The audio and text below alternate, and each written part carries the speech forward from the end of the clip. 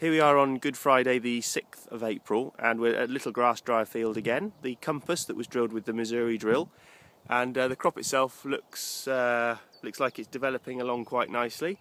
Had a bit of a shock last night. We got down to about minus three, and um, the effect on the on this particular variety, um, I don't know quite how long term it is, but it's really been knocked over. Um, very limp looking, and um, I expect a few of these early early sites will uh, will not have pods on them because they'll have just been nipped off in the in the frost. But there's plenty of tillers coming lower down. Uh, it's branching out quite nicely, um, so hopefully it'll be able to compensate for that. But it'll be interesting to see uh, what effect that has. Um,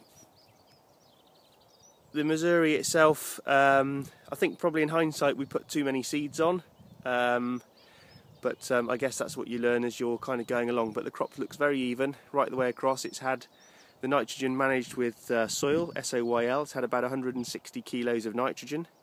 Had the final 90 of that um, about a week ago. So uh, it'll be that would have washed in quite nicely with these dews and the nine mil of rain that we've just had the last few days. So things are looking good for this crop um, assuming that it recovers from this bit of frost. But it'll be a nice warm day today, so hopefully it'll be able to pick itself up and um, and get motoring on again.